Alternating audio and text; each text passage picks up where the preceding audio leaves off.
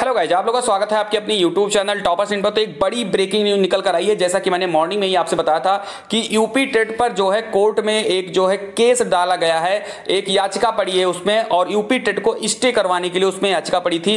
क्या रीजन है, क्यों पड़ी थी, क्या उसका फैसला आया, उन सभी पर हम लोग यहाँ पर बात करेंगे। लेकिन अगर आप चैनल पर नए हो और आप चाहते हो कि बिल्कुल सही अपडेट मिले तो आप चैनल को ज़रूर सब्सक्राइब करें और बेलाइकन को भी ज़रूर दबाएँ। तो चलिए हम देखते हैं। जैसा कि आपको पता है कि कोई ना कोई भर्ती जब होती है यूपी में होती, कहीं भी होती तो सरकार जो है उसमें कुछ ना कुछ पॉइंट ऐसी छोड़ देती है कि मजबूरी में ही वो भर्ती जो है कोर्ट जाती है। चाहे आप जूनियर भर्ती देख लीजिए, पचास परसेंट मामला, सहायक प्रोफेसर भर्ती देख लीजिए, पैंतालीस परसेंट मामला। साथ ही साथ आप और देख लीजिए, जैसे कि उनहत्तर भर्ती में कटाव को लेकर के आपने देखा कि बाद में कटाव जारी हुआ, वही पहले जारी कर दिया जाता तो कोई दिक्कत नहीं है।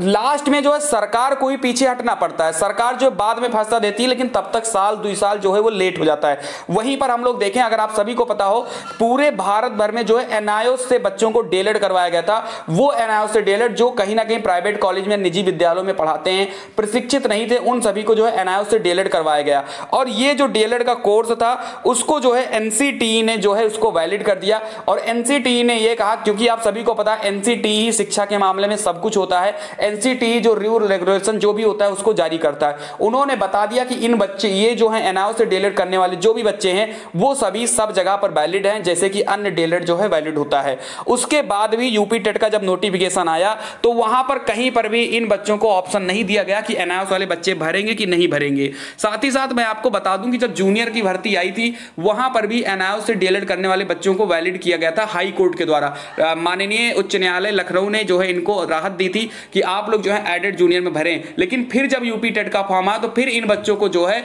ऐसा सरकार ने किया या ऐसा पीएनपी ने किया कि इन लोगों को फिर से कोर्ट जाना पड़ा। मैंने मॉर्निंग में ही आपसे कहा था कि कोई कुछ भी कर ले, ये बच्चे जो है कभी भी बाहर नहीं होंगे, क्योंकि एनसीटी ने जब इनको वैलिड कर दिया है तो ये लोग बिल्कुल वैलिड होंगे। और वही हुआ आज के केस में। आज के केस की जो है पहली सुनवाई थी इनकी, और पहली सुनवाई में एक बड़ी जीत इन बच्चों की हुई है, और वो जीत ये हुई कि ये लोग भी अब जो है यूपी टेट में जो है आवेदन करेंगे। अंतरिम राहत जो है इन बच्चों को दे दी गई है, और कहा गया, जैसा कि आपको पता है कि 12 दिनों की जो है छुट्टी होने वाली है कल से हाई कोर्ट में तो ये कहा गया कि आप लोग जो है फॉर्म को डालिए, आप लोगों की सुनवाई बाद में होगी, क्योंकि ज़ाहिर सी बात है सरकार भी जानती है सॉरी हाई कोर्ट भी जानती है कि इन लोगों का कोर्स वैलिड है। क्यों वैलिड है? क्योंकि एनसीटी ने लेटर दिया है। साथ ही साथ कई सारे स्टेट की हाई कोर्ट ने इसको वैलिड किया जैसे कि बिहार हो गया, और भी बहुत सारे जो है हाई कोर्ट उन्होंने वैलिड किया है। तो जो है जज साहब ने भी ये देखा और कहा कि हाँ भाई, चलो सब कुछ ठीक ठाक है, कोई दिक्कत वाली बात इसमें है नहीं। तो उन्होंने अंतरिम आदेश दे दिया कि आप लोग फॉर्म को भरिए, बाकी जब आगे डेट लगेगी, तब की तब हम लोग यहाँ पर देखेंगे। और ये भी कह दिया है कि जब तक एनाउंस का केस फाइनल नहीं होता है, तब तक जो है सभी का रिज़ल्ट जो है वो रोक दिया जाएगा। नहीं रिज़ल्ट जो है किसी का यूपी टेट का जारी नहीं किया जाएगा, जब तक एनआईओस का केस फाइनल नहीं हो जाता है। तो जो लोग भी एनआईओस के साथी हैं, वो सभी लोग जो है अपना फॉर्म जो है टेट का डाल सकते हैं। शाम तक इसका ऑर्डर आ जाएगा और जैसे ही ऑर्डर आएगा, आपको वीडियो के माध्यम से बताया जाएगा कि ऑर्डर में क्या क्या चीज़ें लिखी हैं कैसी कैसी चीज़ें लिखी हैं। अभी के लिए इतनी जानकारी मिली है कि एनआईओ से डेलेट करने वाले छात्रों को जो है मौका मिल रहा है।